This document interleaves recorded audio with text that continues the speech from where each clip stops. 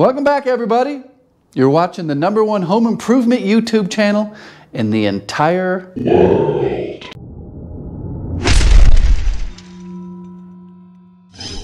Now, I'm gonna switch back to doing some framing.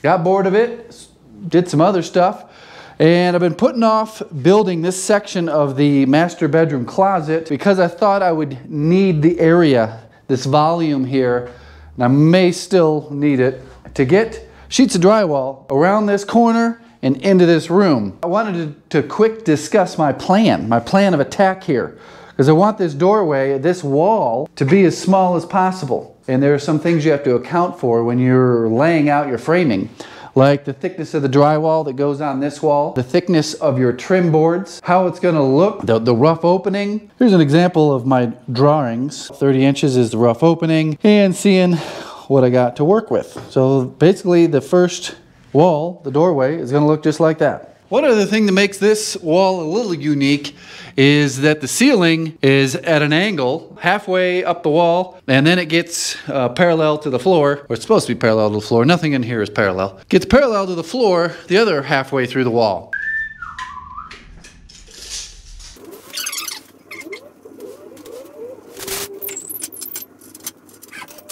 Are 10 foot 2x4s. Put down in the comments how much a 10 foot 2x4 costs where you live today. It's been going up, it's been going down. I thought I was paying $10. I was like, holy cow, that's a lot for a 2x4. $10 and some change. They had dropped just overnight. They can't even keep up with the price tags. And these were only about $6.34.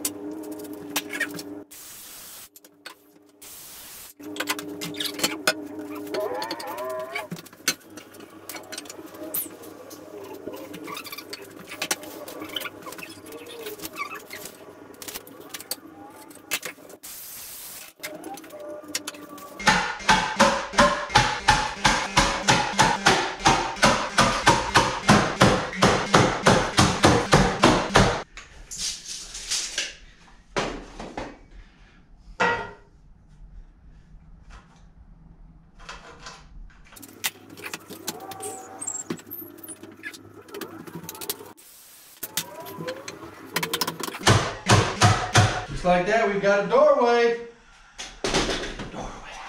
Today's video is sponsored by Truebill. If you've been following me very long, you know that I have two YouTube channels. And my second one is based on being self-employed, making more money, spending less money, what to do with the money that we make. The whole goal is to become financially secure. And today's video sponsor, Truebill, I think is a valuable tool to achieve that. Truebill is an all-in-one finance app. The Personal Finance Manager allows you to manage your subscription, lower bills, monitor your credit score, and build your savings all in one place. The thing I like about Truebill is it's all on your phone right in front of you, and it does it for you. To do all these things on your own is going to take a lot of time and a lot of research, and a lot of dedication. So with a few taps on your screen, you can get Truebill to do all this stuff for you. You can cancel unwanted subscriptions.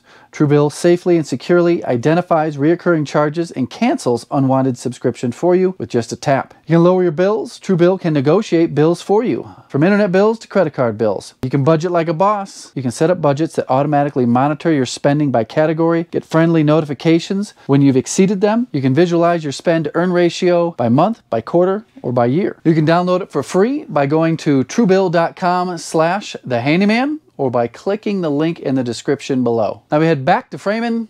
We doing the closet? I think we're doing the closet. Go back to framing the closet.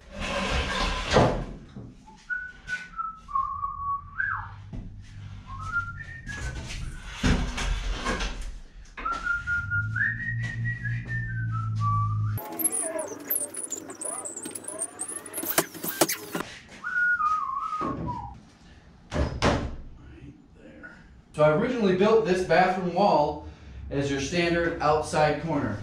So we've got an a screwing or nailing surface for drywall on the outside and the inside. So you can see this board got the face towards the bathroom. It makes the perfect corner to nail your drywall to. But now that I added this in here, I don't have an inside corner uh, in this wall situation.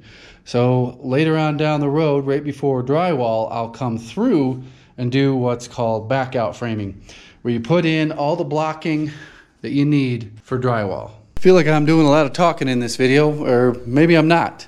I haven't edited it yet. Sometimes I just edit out all my chit chat and just do like a time lapse. So when you're building in an old house like this, and oftentimes newer houses, 70s, 80s, 90s, and today, should be a radio host. Nothing's square, nothing's parallel. So this floor is not perfectly level. That ceiling is not perfectly level. That wall and that wall are not parallel. That wall and that wall are not parallel. I think you get what I'm saying.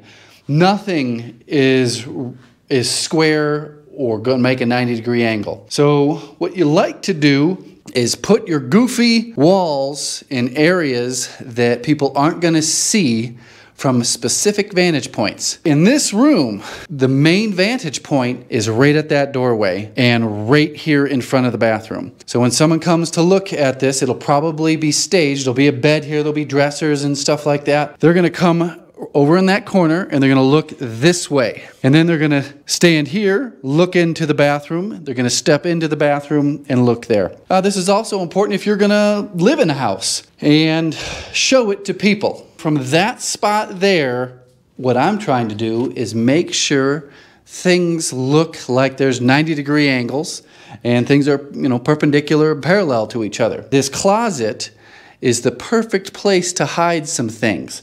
So I can scooch this wall like this or like this so that this here looks like a perfect 90 and the wall that I'm going to put here, no one's going to see it unless they are on the other side of the bed. So you can't see this angle from the doorway, from the bathroom. So I can play with this here too a little bit. Down here on the ground, and this wall here is exactly 36 inches. I cut this bottom plate 36 inches. So a way to get a large square, I think it's Beyonce. Beyonce. Sorry about that. I, I told her not to call me at work anymore. Uh, so here we got just a square. Looks good, but is it really good? Some people that watch might not be aware of the three, four, five triangle.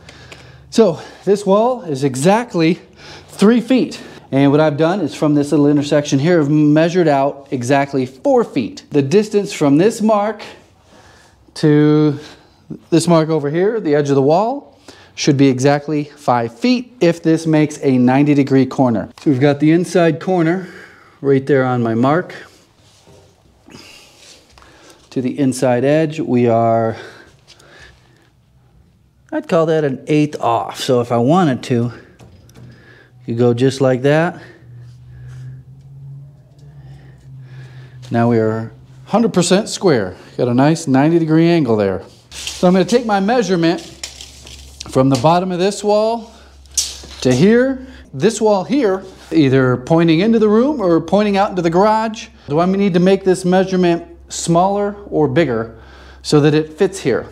If if it's starting to dive off into the garage, that's fine. I'll, I'll make my perfectly square rectangle, put it here, and just shim the top a little bit. It's not going to be off more than a half an inch from floor to ceiling.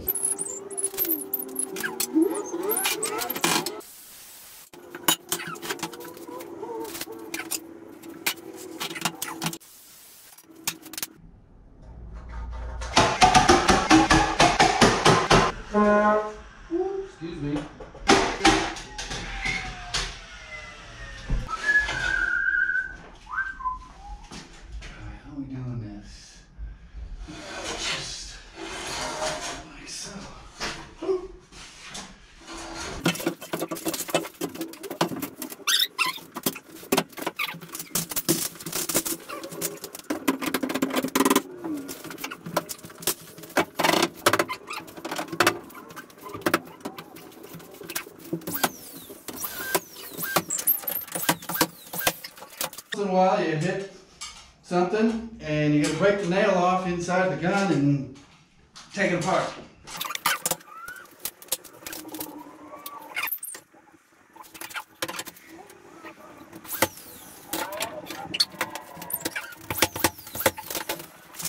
top of this wall kind of dives in this way. And what I don't want to do is nail this in and suck that wall on level and then it'll be hard to get the door aligned in the doorway. So I'm gonna put this shim that I just conveniently had located right there and check level on that wall over there before I nail that in up top. Make sense?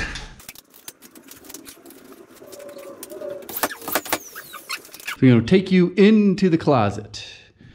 Go in, the door swings against this wall here. Keep in mind the door is only going to go up to about here.